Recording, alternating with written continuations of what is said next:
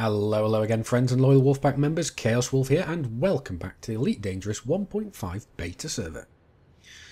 Now, this is the ship I've been looking forward to having a go of uh, almost as much as uh, as uh, the uh, the Federal Corvette.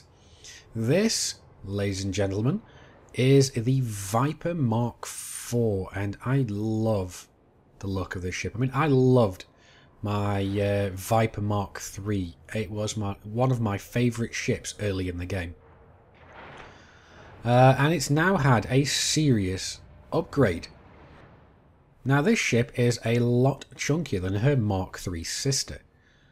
She has a lot of uh, fins added around the outside to add extra girth and uh, she is just generally a lot more chunky.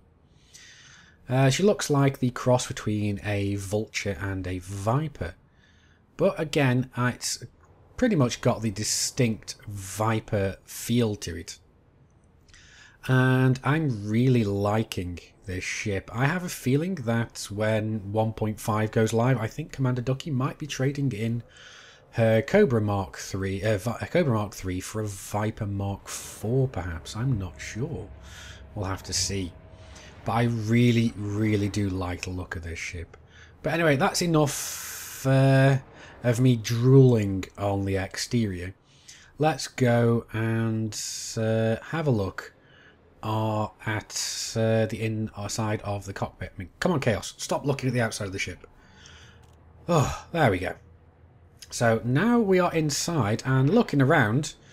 The cockpit is pretty much a carbon copy of the Viper Mark III. You'd thought you'd have thought that they would have actually upgraded this a little bit.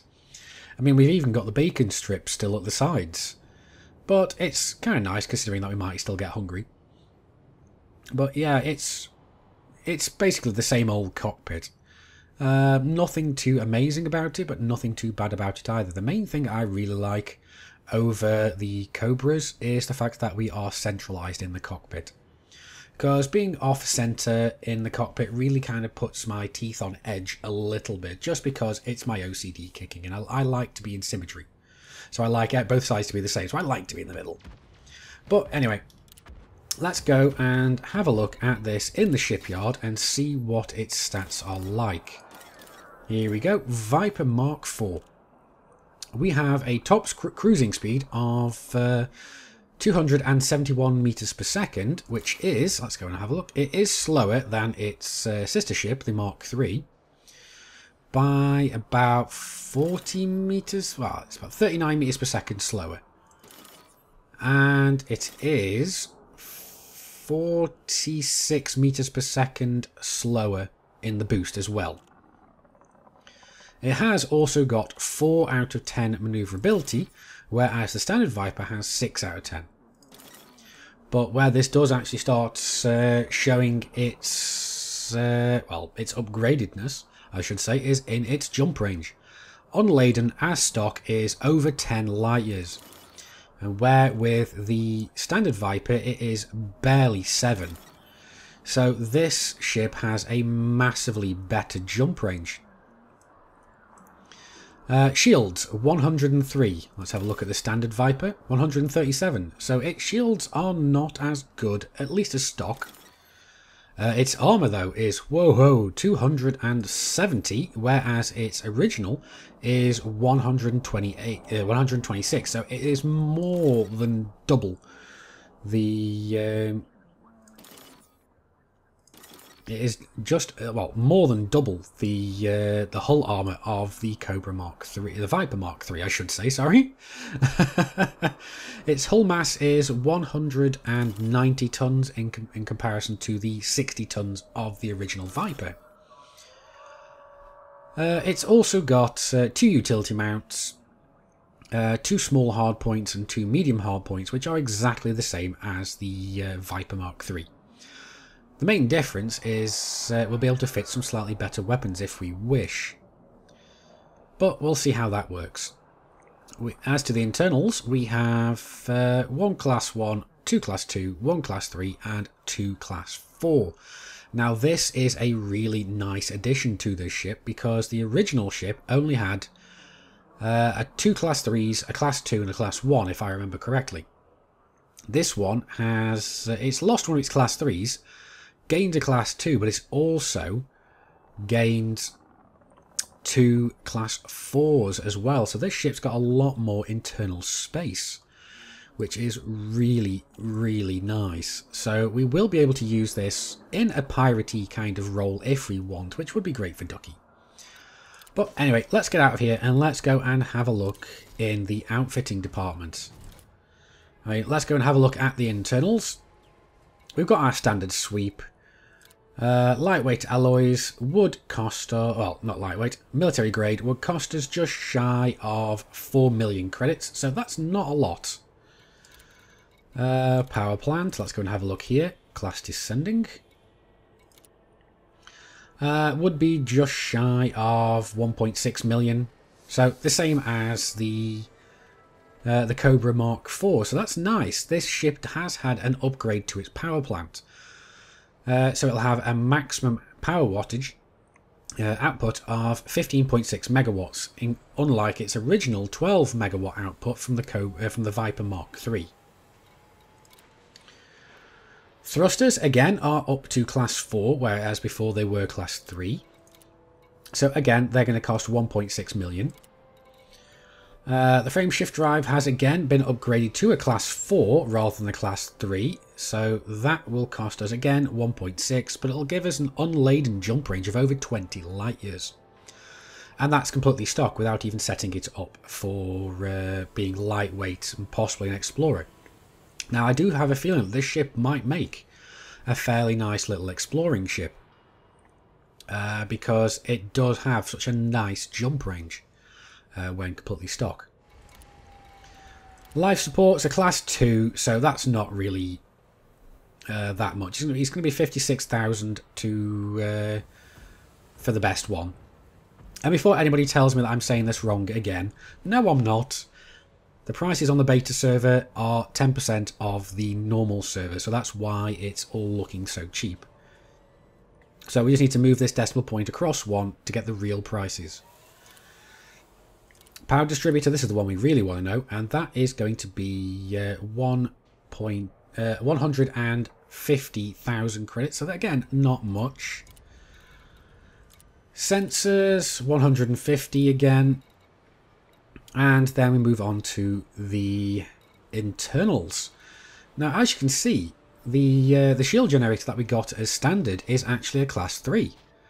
So that's why the shields don't seem so strong on this ship, is uh, because we've not got the most optimal shields uh, generator.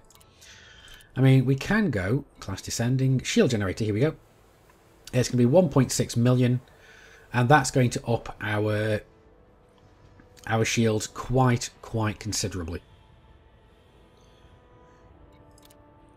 Uh, we've also got another class 4, so we can put a class 4 um, shield cell bank in there if we want. We've then got another class 3, two class 2s and a class 1, along with our planetary landing approach suite. But again, we can't do anything with that as yet. But let's go and have a look at the hard points. We've got two medium on the bottom again and two small on the top. So no surprises there. The uh, the hard points are in the exact same locations as they were on the Viper Mark III. So let's go and put the standard set of uh, weapons that I usually go for on this and uh, then we'll go and see how well this ship does out uh, first of all in manoeuvring and then out in combat. Okay, so here we are with our standard sweep of weapons. We've got two Class 1 pulse lasers and two Class 2 uh, multi-cannons. So again, it's the same... Uh, so again, it's the same weapons as the Viper Mark III that I usually go for. But uh, let's go out and see how well this does out in a field test. Okay, so we are outside the port. Let's go and see how well this thing accelerates from a standing start.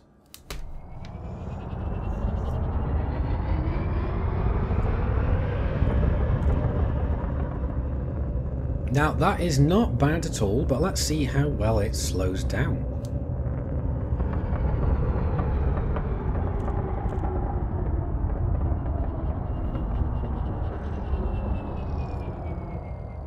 Now again, that's not too bad, but uh, we don't really expect anything less from a small ship.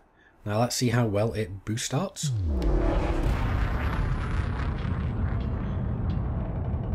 Now, that wasn't bad at all, and that really that boost really did have a throaty growl. I really do like that. Now, let's go for another boost.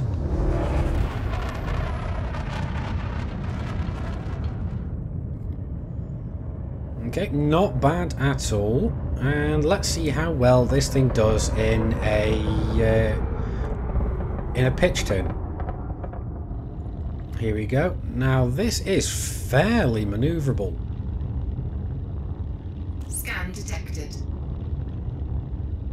So let's go and see how well this does in a boost turn.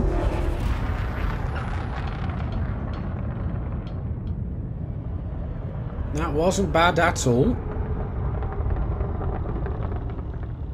So the manoeuvrability, even though it is less manoeuvrable than its uh, lighter little sister, uh, it's still not that bad. But anyway, let's go and see how well this thing does holds up in the hazardous resource extraction site. Alright, well, we've found our first target. Whether or not this is going to end up going well for us is another issue. Because this is a dangerous python. And we're in uh, virtually a stock Viper Mark IV. Well, let's see how well this goes.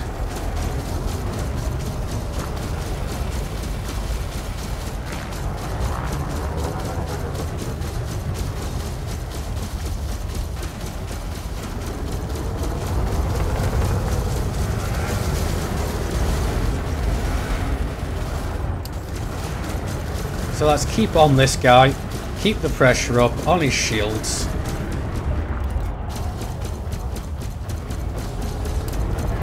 Target shields offline. Under attack. Now, I don't know if it's just me, but the weapons do seem to be firing a lot faster on this ship.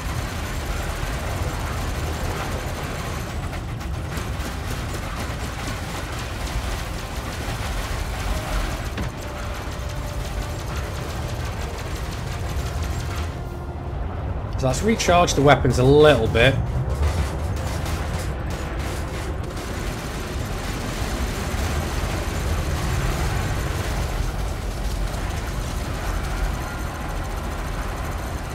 There we go. Looks like we got him.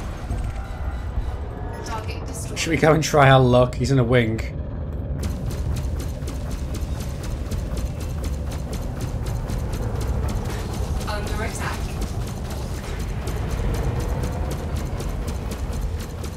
Let's try and keep on the move so his wingmate can't hit us too easily.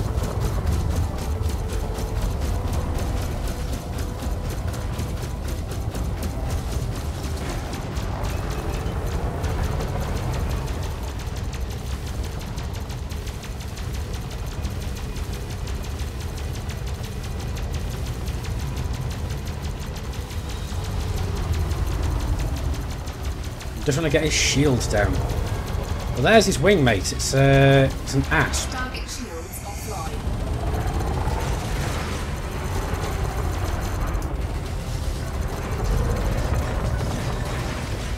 I wish we had chaff right about now.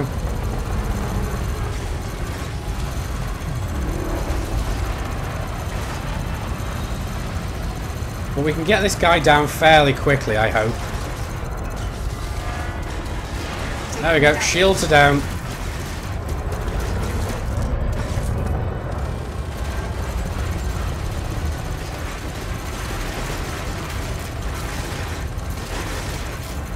Let's get this guy down ASAP.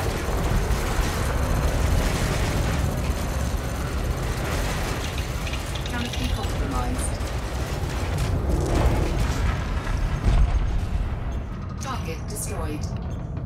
And let's get the hell out of Dodge.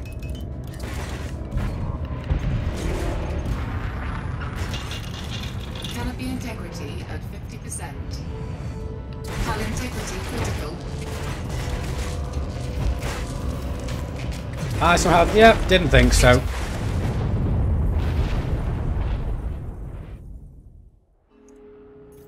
But oh well, we kind of learned not to go and take on uh, a wing of some fairly large ships.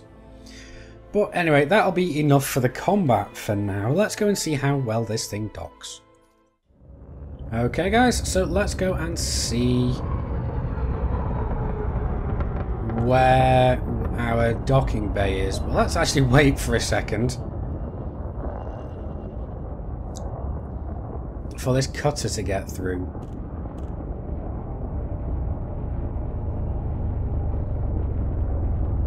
Alrighty, so now he's through, we can actually make our way in and get to our docking pad number 21.